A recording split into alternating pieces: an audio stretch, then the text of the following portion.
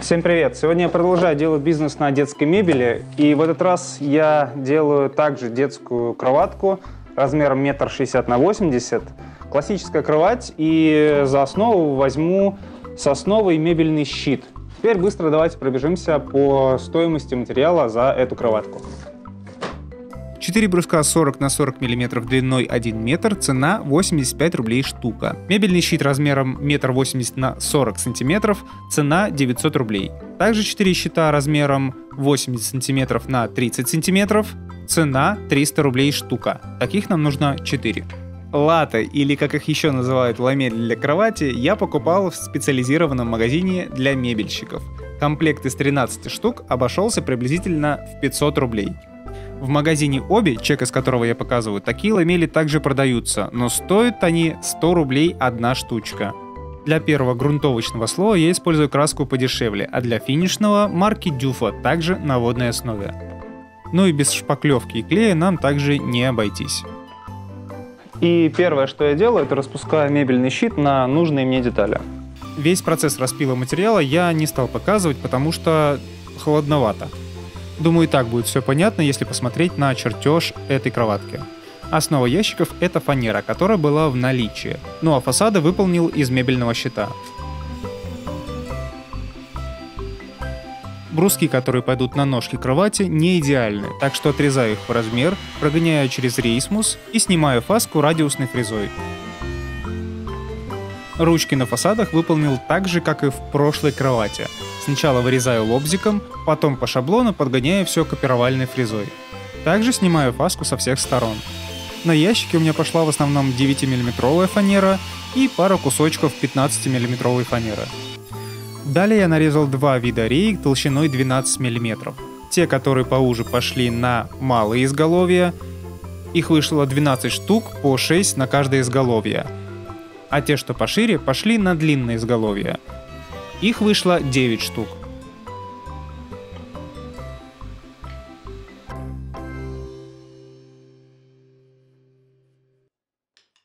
Все дефекты и неровности на материале я замазал шпаклевкой по дереву и зашлифовал 180 зерном. Размечаю отверстия под рейки. Сначала я отмечаю центры отверстий – и так как ширина малой рейки 36 мм, я откладываю по 18 мм влево и вправо. После переношу разметку на ответную полукруглую часть изголовья. Для того, чтобы выфрезеровать отверстие... Ничего себе, с первого раза. Для того, чтобы выфрезеровать отверстие для реек, я сколотил небольшой кондуктор, по которому будет ходить фрезер с 12 миллиметровой фрезой.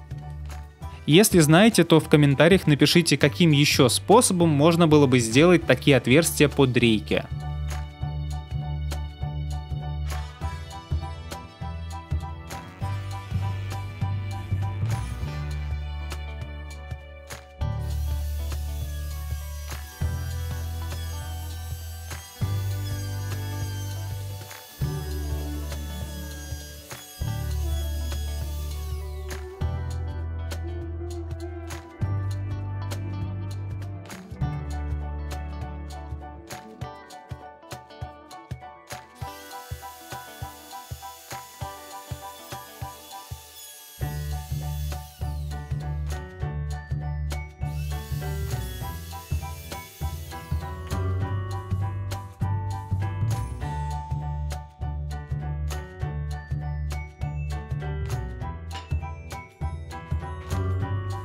Элемент изголовья клеил на ПВА.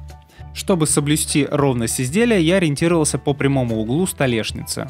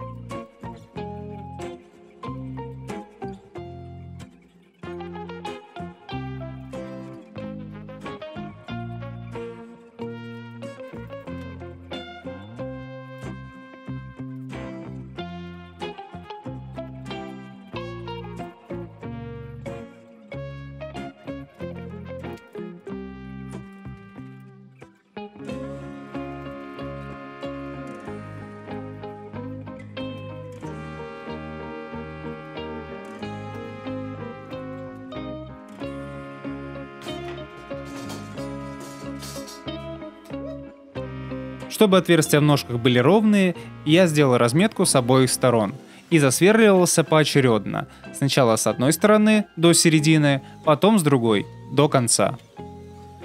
С помощью копировальных втулок с острым наконечником я перенес разметку отверстий на внутреннюю часть изголовья. По этой разметке я засверливаюсь 8-мм сверлом, чтобы закрутить в них врезные гайки. Дополнительно я немного подливаю суперклея в отверстие.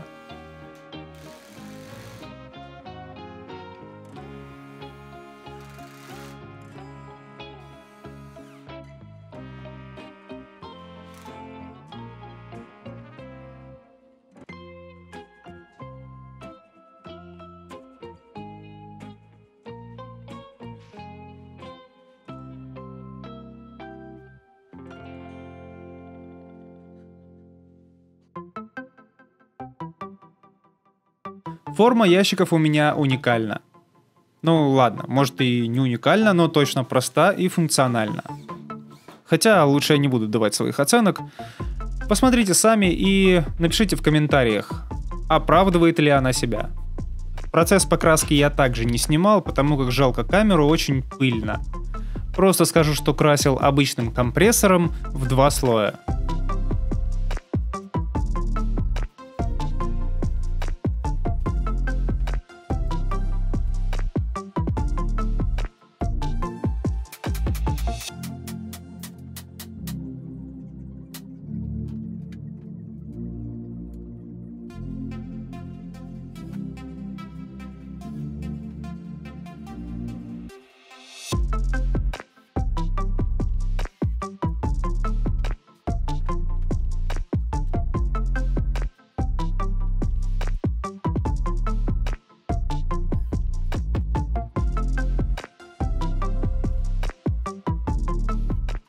Напилил два бруска 35 на 35 мм длиной 1,60 м. Как раз на них и будут крепиться латодержатели.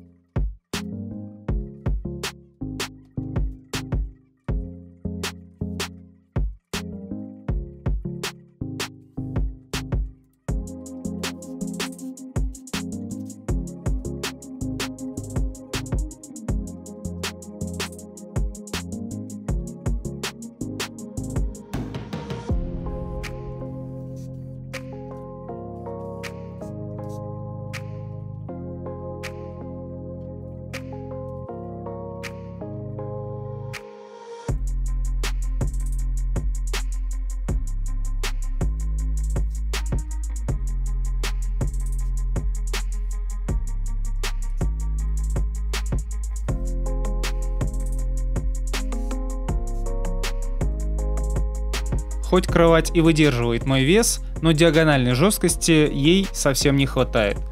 Поэтому закручиваю у изголовий по две фанерные рейки. Осталось пристрелить латодержатели и установить сами латы.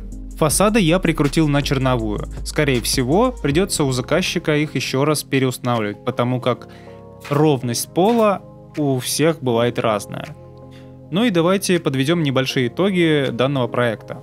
Эту кровать у меня заказали за 15 тысяч рублей. Из этих 15 тысяч около 5-6 тысяч я потратил на расходные материалы. Почему около 5-6 тысяч? Потому как фанеру я использовал та, которая у меня оставалась. И также мне пришлось докупить еще одну банку краски. Плюс врезные гайки, болты, 8 колес для ящиков, Такое ощущение, что на расходники ушло чуть ли не половина всего бюджета. Так что буду дальше искать идеи для моделей детских кроватей. Если ролик вам понравился, то ставьте лайк, подписывайтесь на канал и увидимся в следующем ролике. Пока!